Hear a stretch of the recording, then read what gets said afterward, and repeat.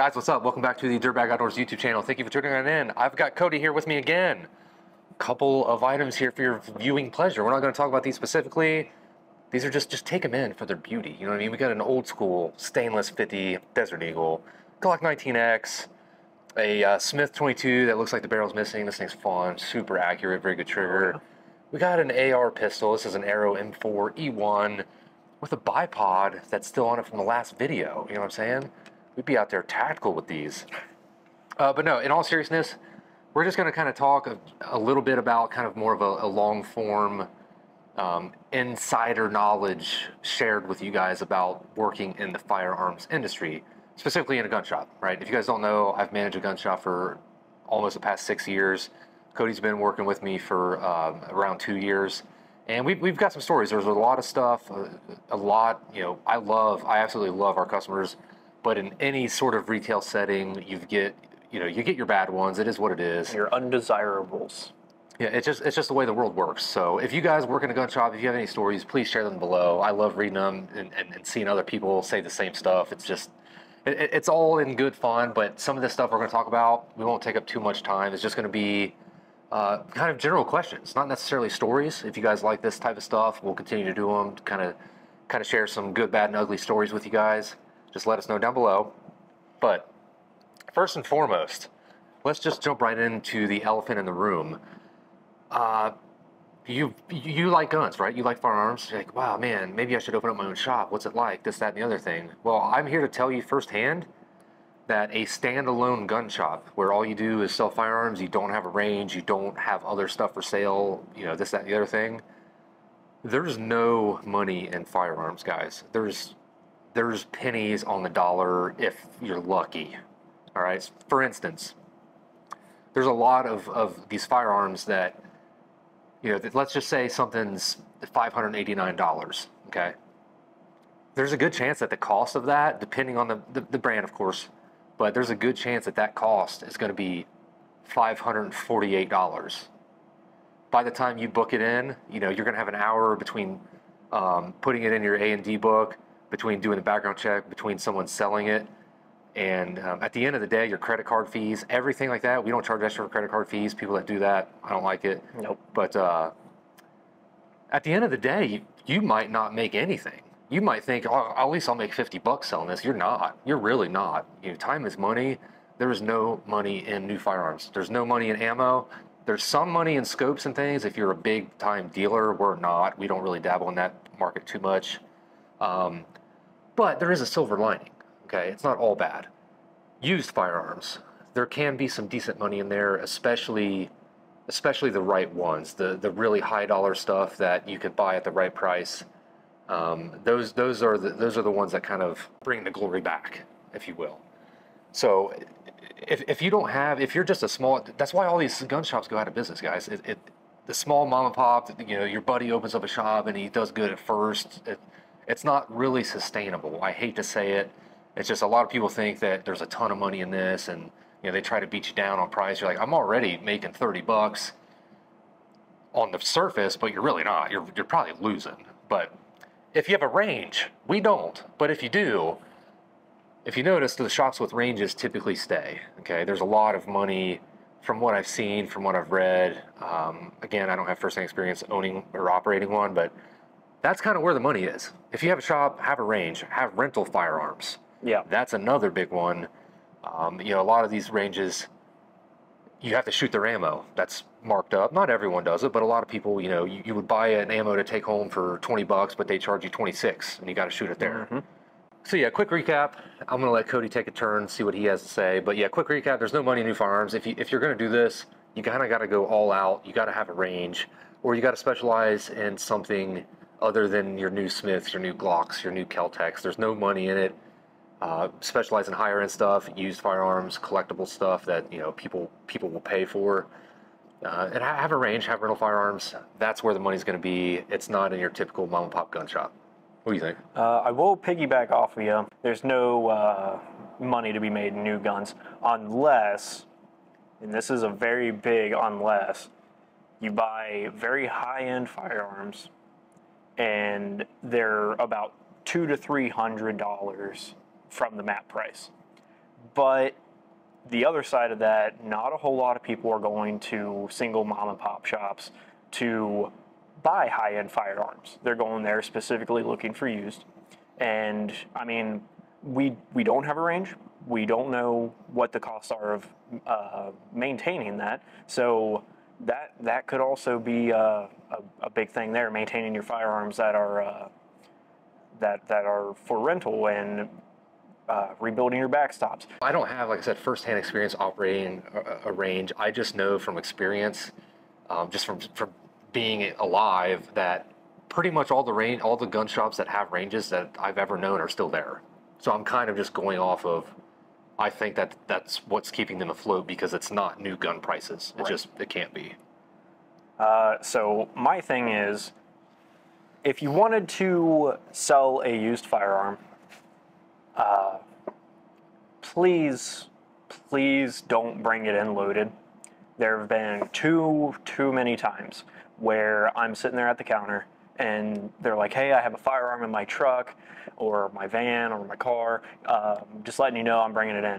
Cool, thank you. Thanks for letting me know. You know, I mean, we we have people come in with uh, non-case firearms all the time. Our policy is not really, you know, keep them in a case or anything like that, which may be a little dumb.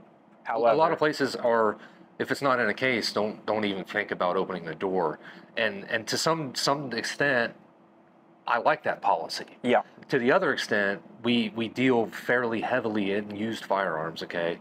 To some extent though a lot of these people for whatever reason okay you guys be the judge on why they don't have cases okay? They don't they don't have cases. They i've seen them wrapped in towels. That's better than nothing. But a lot of these people if um, uh, you know, someone passes away and their their son or their wife or whatever, like they have no idea what they have. They bring them in like in the bundle. I, I've seen everything, but for whatever reason, a lot of people don't have something to bring it in. So that's kind of why we're a little lax on that. But you know, I, I understand why other shops do it. somebody will come in, hey, I got a firearm out my truck. Sure, go ahead, bring it on in. Um, I'll get you down here. And then they don't even check if it's loaded, and they hand the firearm over to me. First thing I do, take the mag out, see that there's rounds in the magazine. I'm like, oh, cool, thank you. You you you did flag me with this gun again because you know lack of firearm etiquette. And it, it, it, a lot of it too, people, there's there's two people that bring in loaded firearms. Okay, there's two types. Let me know if you agree with this. There's the type that they don't literally know how to check it. They inherited them. It's the little old lady, husband's passed, and she's she has no idea. Like there's the people who genuinely don't know, which is still wrong, but it's I guess it's a little more understandable. Um, but then there's the people who- I can't count. I, I don't have enough fingers and toes to count how many times myself and my staff have been flagged with loaded firearms. Um, and it's usually not the little old lady who just doesn't know. It's usually the people who are gun guys or they're just like, oh, I thought it was unloaded. Yeah. I thought I cleared it. Oh, it should have been cleared before in the truck or whatever. And it's just, it's pure negligence. There's a zero tolerance uh, from me on that. There's, you know, no way, no way. Yeah, and you, you can kind of feel out like, okay, this person may not have the most knowledge uh, on firearms, like the little old ladies, or even you know some some just random, uh, some normal looking people. Um, but yeah, it's typically the guys that come in and they're like, hey, I want to sell this. make sure if you don't know if it's loaded, if you don't know if you're the little old lady, ask someone, hey, I got this firearm. I'm not sure if it's loaded. Can you come out to my car, or or whatever, um, something like that. Just just kind of a tip because I'm not trying to get my head blown off. I don't want my staff to get shot. Uh, we it's already kind of dangerous enough getting flagged way more often than we should. Right. And I am a very firm believer that, you know, my, my, my sister, I've, I've kind of trained her a little bit, and uh, she's, she used to refer to it as an accidental discharge. And I said, no, no, get that out of your head. There is no such thing as an accidental discharge. It is a negligent discharge. There is no such thing as an accidental discharge. I mean, sure, there are freak accidents, but more often than not, 99% of the times. You SIG people are probably laughing right now at their recall. SIGs, SIGs shoot so good, they shoot even when you don't want them to. Right. Um, and that brings me to another one. Okay, we're just winging this here, guys. That brings me to another one. So when I show a firearm, you I've checked this twice already, just out of habitually, right? Cody checked it. Like it just it's ingrained. There's zero chance I will ever pick up a firearm and not check it. Zero. Yep. Every single time. I don't care if it's a single shot with the break the, the break action that's opened. I'm still gonna look and like confirm, shove my finger in the chamber, something like that. But I I, I clear the gun before I hand it to the customer, and again after they hand it to me. But here's what you don't want to do. This happens way too many times. Cody, you're probably gonna laugh. Okay. Yep. I hand it, I hand his firearm like this, magazine, usually like this, right? Um, anyways, this is what happened. Anyways, this happens all the time. They'll put the magazine in, you know, they're tactical Tony. They think they know because they saw a YouTube video of their buddy shooting a deer with one bullet, uh, shot three deer in four different counties with their grandpa's 30 6. Those people, they do this. You hand them the firearm, and they go instantly, instantly on the trigger, right at you, right at other customers, flagging all of us.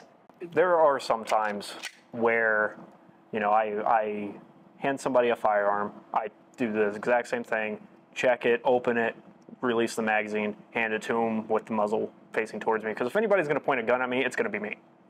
And they'll sit there and they'll have it pointed right at me while I'm looking, and I'll kind of do one of these numbers and kind of scoot away.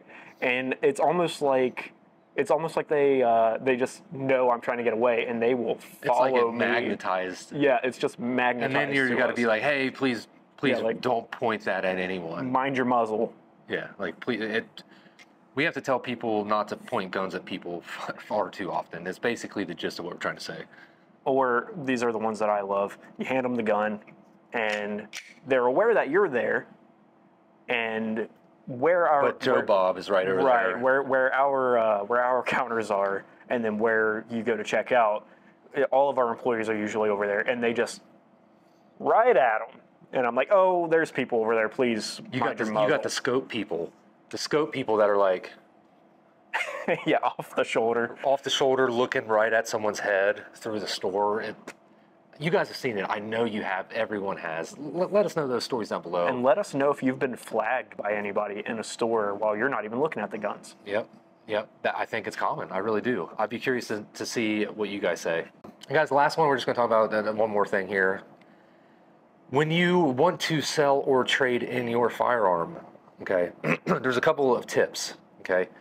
First and foremost, I, I'm speaking for us. I'm speaking for my store. I don't know your store. I don't know what your their staff is. Their man. I don't know their them. Okay. I'm speaking for us and anyone else who runs a solid, honest business with integrity. Okay.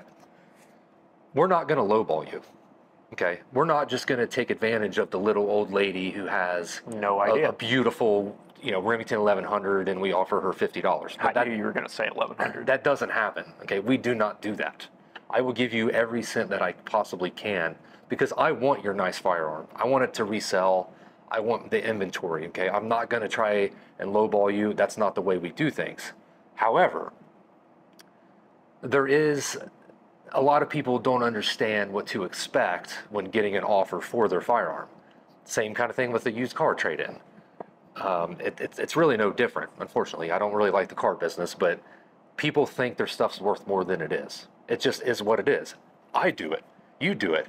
This thing may only be worth 600 bucks, but I love this thing and I won't take I want 600 bucks from a store. That's just not that's not realistic. That's that's not realistic. A store would try to get 600 bucks for this. They've got the time of inspection, cleaning, um, time, labor, the the the selling, the salary, you know, back to that stuff. There's a lot of stuff involved. If you sell it online, there's fees, there's shipping, there's uh, credit card fees that we don't charge, but we have to, you know, take into account a little bit on a used firearm when we go to resell it. There's a lot of information out there that will help you develop uh, and kind of get an idea on your price.